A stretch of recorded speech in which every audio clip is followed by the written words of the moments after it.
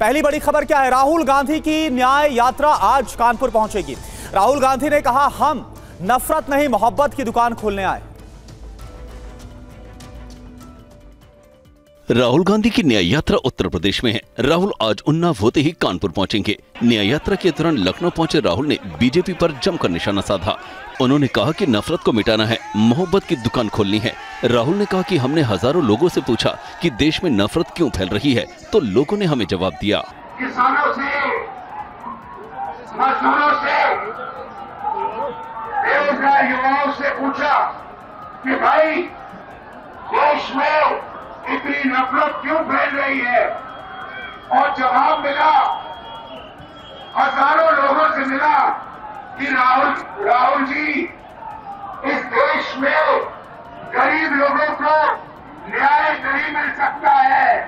किसान को, छोटे व्यापारी को, बेरोजगार को, पिछड़े को दलित को, आदिवासी को न्याय नहीं मिलता है। न्याय सिर्फ़ अरबपतियों के लिए है। बाकी लोग अन्याय की ज़िंदगी जीते हैं और बढ़ते हैं। राहुल ने पेपर लीक का मुद्दा उठाते हुए कहा कि अमीर के बच्चे बिना पढ़ाई ही मार्क ले जाते हैं, लेकिन गरीब के बच्चे के लिए सिर्फ़ मजदूरी ही रास्ता है। इससे पहले राहुल गांधी की न्याय यात्रा रायबरेली पहुँची थी। राहुल गांधी ने वहाँ एक जनसभा को संबोधित किया। बाद में राहुल ने जहाँ भाषण दिया, उस स्थल को बीजेपी ने गंगा जल से साफ़ किया, उस जगह की शुद्धिकरण की।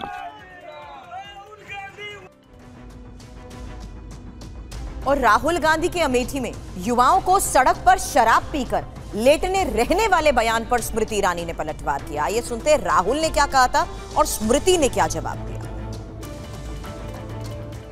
यूपी के रायबरेली पहुँची कांग्रेस की न्याय यात्रा के दौरान राहुल गांधी ने उत्तर प्रदेश के युवाओं को लेकर विवादित बयान दिया है। राहुल भैया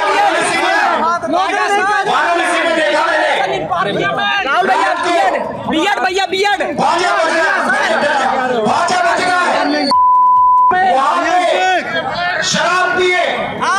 शराब पिए सड़क पे लेटते हुए भाजपा बच रहा है यूपी का भविष्य रात को शराब राहुल के इस बयान का जवाब दिया केंद्रीय मंत्री और अमेठी से सांसद स्मृति ईरानी ने। राहुल गांधी के मन में उत्तर प्रदेश के लिए कितना विष भरा है वो उनकी इस अभद्र टिप्पणी से। व्यतीत होता है। काशी की पुण्य भूमि के बारे में और उत्तर प्रदेश की युवा पीढ़ी के बारे में जो अब शब्द राहुल गांधी ने कहे हैं, मैं तो कहूँगी कि कांग्रेस पार्टी का भविष्य अंधकार में है। और असम के मुख्यमंत्री हेमंत बिस्वा शर्मा ने न्याय यात्रा को लेकर राहुल गांधी पर निशाना साधा। राहुल गांधी ने कांग्रेस को मज़बूत करने के इरादे से न्याय यात्रा निकाली है, लेकिन असम के मुख्यमंत्री हेमंत बिस्वा शर्मा का दावा है कि न्याय यात्रा से कांग्रेस मज़बूत नहीं, बल्कि कमज़ोर हो रही है। न्याय यात्रा जहाँ जहाँ से गुजर रही है, कांग्रेस को झटका लग रहा है। जहाँ जहाँ न्याय यात्रा आगे बढ़ रहा है वहाँ वहाँ कांग्रेस कलाब्स हो रहा है। जैसे पहले असम आया, अभी असम का सारे कांग्रेस विधायक भाजपा से जोड़ गया। बंगाल में गया, टीएमसी का साथ गठबंधन टूट गया।